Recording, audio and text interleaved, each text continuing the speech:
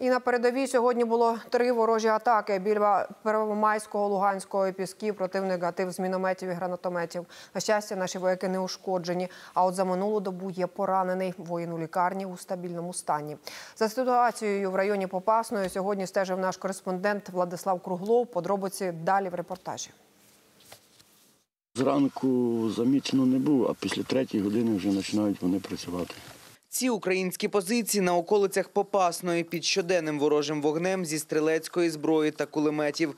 Тому постійне спостереження тут надважливе. Активність російських окупантів за останній тиждень значно зросла, кажуть наші військовослужбовці. Якісь накрути там роблять, ще там щось. РПГ часто прилітає. З птурам можуть е, вдарити. 82-ка прилітає. Без вогню у відповідь у таких ситуаціях не обійтися. Українські захисники утихомирюють ворога за лічені хвилини.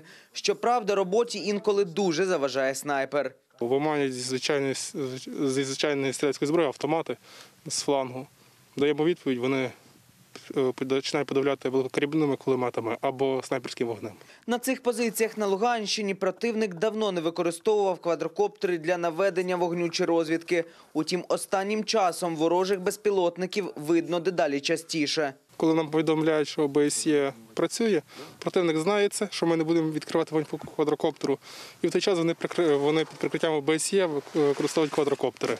Отримавши дані з квадрокоптера, окупаційні війська йдуть у розвідку, кажуть українські воїни. Аби бодай якось спровокувати армійців, російські найманці за тиждень тричі намагалися підлізти до наших позицій. Така місцевість, що саме, це, саме тут для ДРГ.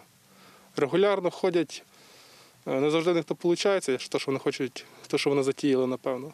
То, що вони регулярно ходять, це факт. Українські військовослужбовці до будь-яких провокацій ворога готові. На кожну неадекватну дію з його боку є управа. крупнокаліберний кулемет.